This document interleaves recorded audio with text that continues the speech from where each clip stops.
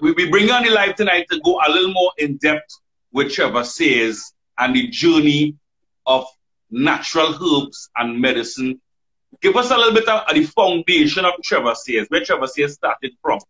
Well, I was born in Morvant Laventille. Hey. I raised up in the forest. I was also the owner of 136 acres of land up in the hills, where we have all what? the fruit trees from over to Santa Cruz, go back to Cascade. That's how the land spread. And I grew up there with my father. And a lot of elderly people, some of them still living, some of them are 110 years and they still living. As long as you get good water and you get natural treatment, like phytonutrients to build your body from the plants. You know, plants have a lot of chlorophyll in it, so it tends to keep you strong and also healthy. I was born in 1947, right? A long time now. My first child is 51 years. What? What? What? 51 years say, Trevor? So you could 51. be a great, you're a great great grandfather? Yeah, a great grandfather. Okay. I have about eight great grandchildren. Right? Wow. And, wow. and I know all the history of all the medication and different things. Like 40 years ago, it didn't have any diabetes medication that it has now. Mm. It didn't have any high blood pressure medication inside the, the um the drugstores and then they used to sell pitch oil and they would sell Phensic and Cafenol and stuff like that. You would have go to get rat poison there and cockroach poison. There's only now that they have um, a lot of different tinctures and some of them is really being rediscovered from even my invention, but I don't get a patent revalue for it. So right. I have a lot of things in the drug, so I suppose you're making real money for it. How, how many how many times have, have people been to doctors for certain ailments and they and they just and they turn to you because nothing seems to be working? A couple millions. Hmm. A couple millions, yeah. yeah, people come to me all the time because they have a complaint, they have a disease, they have an infection within the body, and people wouldn't come simply because they want to mm-hmm. come by Trevor Sayers. Come by mm-hmm. Trevor Sayers when, you know, things get out of hand. Like a last resort, a last resort.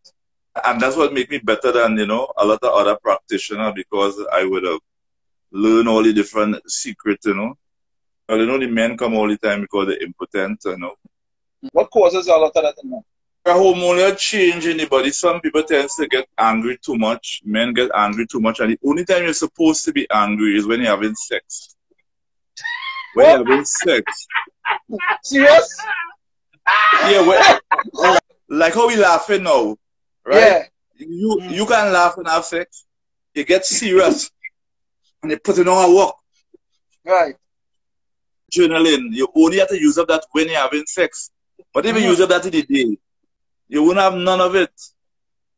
Yeah. You can't even disturb the fur hormones inside of the body. And it, it, it uses up a lot of the iodine. You need iodine. Get vexed when you're having sex. Get vexed when you're having sex. when you're having sex. sex.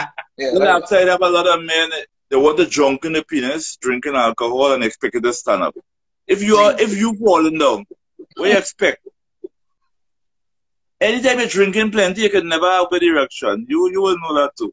Casual drink, every, ever so often. Ever so often. But drinking water. Mm. All drinkers they say so. Yeah. All so what is your cure? What is your cure to make the boy stand up? What is your cure? Mm. You bitter the blood. If the blood doesn't have too much sugar in it, right? The body doesn't produce prostatic fluid to build up the bulk of the male ejaculation. So mm-hmm. definitely you have to make sure that you keep the plasma of the blood not sweet. If the blood is too sweet, it clots. You won't get oh, circulation. Yeah. And next hmm. thing, if you too much animal protein, if you're eating a chicken and that chicken doesn't have no sex, you won't have no sex neither. A lot of the animals so, and them that they normally kill. Wait, wait, wait, wait. Clear, clear so, so, clear. Oh, well, Let me start well, the chicken having sex. No, the majority of chicken that they, they produce, that doesn't mm. have no sex. Okay. So your body develops that hormone. Get about 10 yard fowl and eat it when it eat it for the month and you will see how you feel real horny. You want to jump on everything you see. As you eat some white fowl, you ain't getting nothing happening. Mm.